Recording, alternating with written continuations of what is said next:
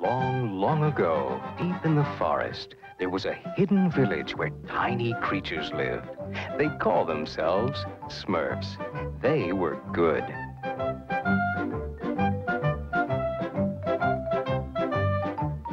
Then there was Gargamel, the evil wizard. He was bad. Oh, I hate Smurfs. I'll get you. I'll get all of you if it's the last thing I ever do. oh, I'll get you. I'll find your village someday. You'll be sorry. Well, the forest is still there, and if you listen, you may hear Gargamel's rage. And if you are good, you may just catch a glimpse of the Smurfs.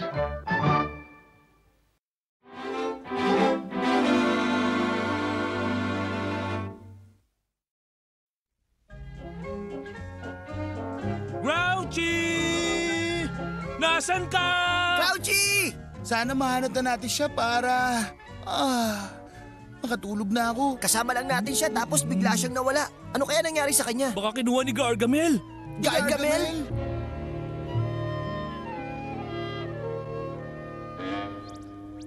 Oh, Ah, hindi ko makita si Gargamel. Hindi ko rin siya naaamoy. At hindi ko rin makita si Grouchy rito. Kaya bumalik na lang tayo sa atin. Siguruhin muna natin na wala si Grouchy rito. Teka, ano yung mabahong amoy na yun? Ah, parang amoy. Gargamel! Naniniwala ko ng mga maliliit na Smurf Spy ay magiging maliliit na Smurf Pie.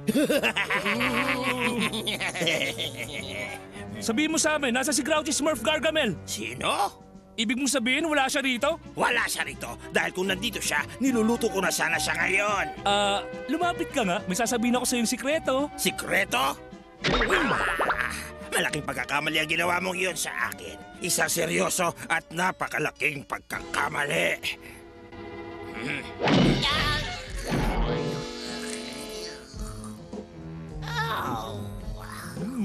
Uh, tama na, Hefty. Huwag mo nang dagdagan ang problema natin. Oo nga, habang nandito tayo, baka nakabalik na sa atin si Grouchy at natutulog.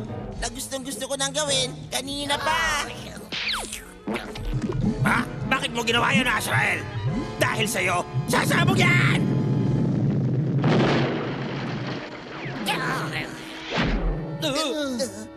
Ah, teka. Anong nangyari? Huwag mo nang alamin, umalis na lang tayo. Naku, maghintay ka pakit na pusa. Isang araw, makakatikim ka sa akin ng uh, maglew. Wala na sila. Perpekto ang pagkakasagi mo sa beaker, Azrael. Oo, umaayon ang lahat sa plano. Ang pagsabog, ang pagtakas nila. sa phase 2 na tayo ngayon. Bilang na ang mga araw ng Smurf.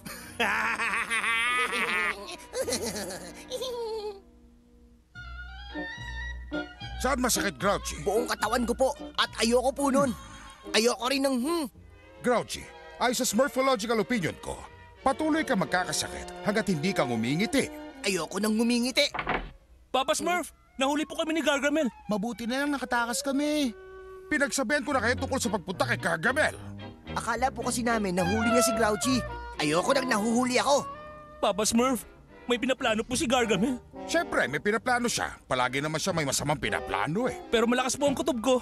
Na ibang klase ang binabalak niya ngayon. O sige, paghahandaan natin ang pinaplano niya. Kung ano man ang bagay na yon.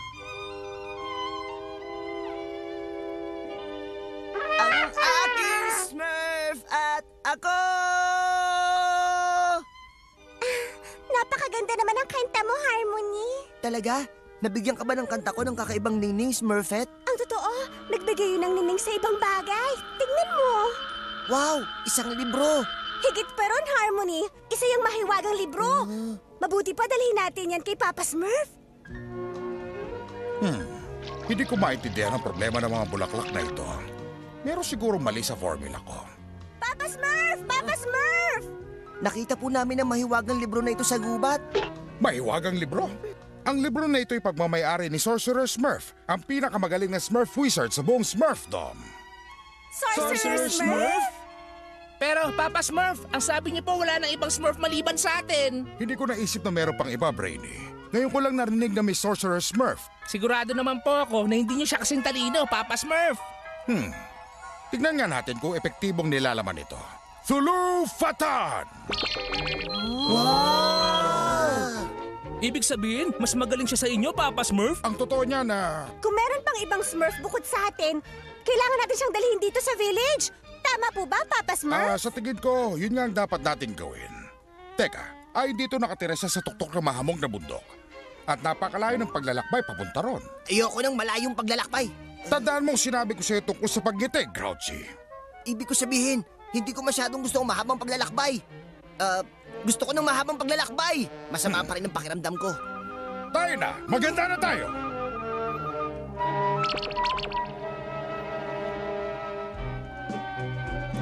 Malayo pa po ba, Papa Smurf? Hindi na gaano. Malayo pa po ba? Pagod na pagod na po ako, Papa Smurf. Hindi na gaano. Gaano pa po ba kalayo, Papa Smurf? Hindi na gaano.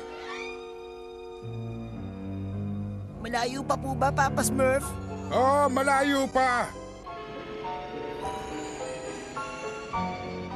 Mag-iingat kayo. Dahan-dahan lang sa pagtulay.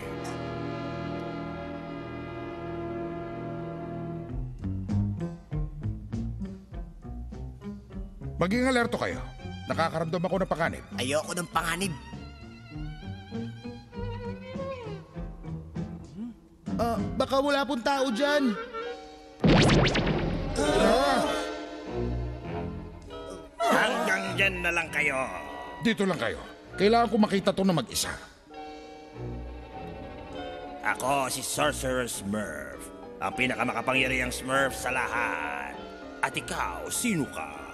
Ang pangalan ko ay Papa Smurf. Papa Smurf? Kapwa pala kita Smurf. Matagal na panahon din akong hindi nakakita ng kauri ko. Maligayang pagdating. Bakit ka na pa rito, Papa Smurf? Nandito ako, Sorcerer Smurf, dahil hindi ko alam na meron palang isang kagaya mo. Ah, oo. Masyadong mahaba ang kwento tungkol doon. Napansin kong hawak mo ang aklat ko. Hmm. Sino ang mga yon? Ibang mga Smurf? Hali kayo rito mga anak. Hindi ko kayo makita. Lumapit kayo sa akin. Ayoko nang lumalapit. Sige, sige. Tama, lapit pa. Sige lang. Ganyan nga. Wag! Bumalik kayo ron! Umatras kayo! Ah! Si Gargamel. Tama ka dyan, Papa Smurf. Ayoko kay Gargamel. Naku, ano gagawin niya kay Papa Smurf? Bantayan mo siyang mabuti, Azrael. Hmm.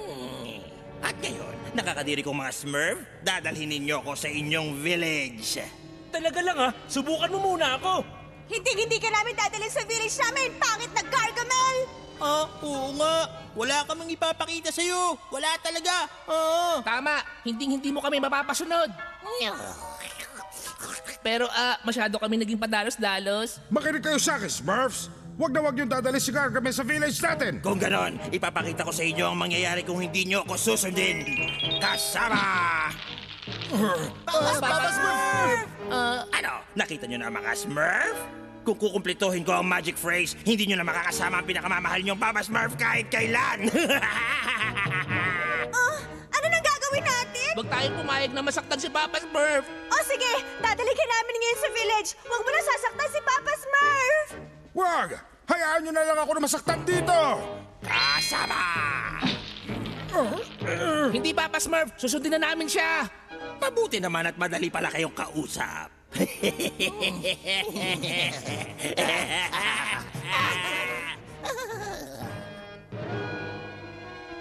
ah, gaano pa tayo kalayo? Ha? Malapit-lapit na. Ah, ah, ano? Palayo pa ba tayo? Malayo pa. Kaya tumahimik ka na lang. Tigil! Ah, si, si, sino ka? Ako ang nag-iisa at tunay na Sorcerer Smurf! Ang pinakamakapangyarihang Smurf sa buong Smurfdom! Pero wala naman talagang ganun eh. Gawa-gawa ko lang yon. Pero totoo ako! At bilang patunay, payayanigin ko ang lupa gamit ang mahiwagang pulbos ko! Kasama! Ay, napakasimpleng magic nun. Kahit sino kaya, kaya yung gawin. Ah, hindi ka naniniwala. Kung ganon, ang kinatatayuan mong yan ay gagawin kong kumunoy! Kasama! Ah, ah, ah, tama na! Tama na! Pinamala kita! Itigil mo na ito! Ah, ginagalit mo talaga ako! Ah! Hindi ako makapaniwala. Mas makapangyarihan ng isang yon kaysa kay Papa Smurf. Naniniwala ka na ba sa akin ngayon? Hindi! Mandaraya ka! I, isa kang peke! Umanda ka kapag nakawala ako rito! O sige.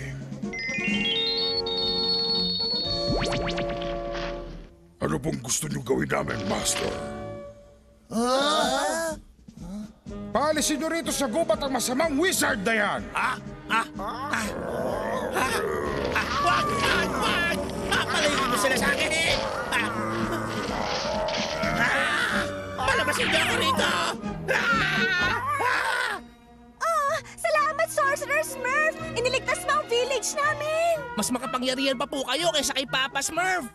Nasaan na nga pala siya? Kailangan na nating bumalik sa bundok at... Huwag ka mag-alala, Hefty. Ayos lang ako. Ang galing! Sabi ko na nga ba kayo yun, Papa Smurf? Sinusubukan ko lang po yung iba kung makikilala nila kayo.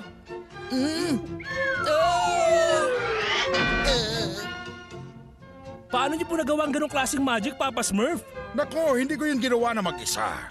Dreamy, Handy, Greedy, Jokey, Rest and Harmony. Oh, pero paano niyo po nagawa yung pagyanig ng lupa, Papa Smurf? Madali lang yun, Clumsy. Humanda kayo, Smurfs! Ngayon na!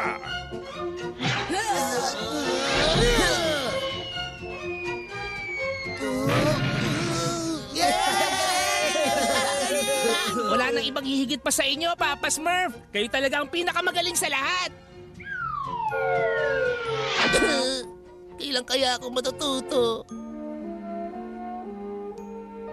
Papa Smurf, masama pa rin po ang pakiramdam ko. Hmm, hindi maganda ang pagkakulay asul mo. Saan ba masakit?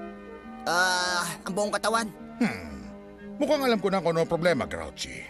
Nagkamali ako. Masyado mong pinilit ang sarili mo na maging masaya, kaya lalo ko pang nagkasakit. Ibig niyo sabihin pwede na akong bumalik sa dating ako? Ayoko mang sabihin sa'yo, Grouchy, pero... Oh! Ah, salamat po, Papa Smurf. Ayoko talaga nagiging masaya.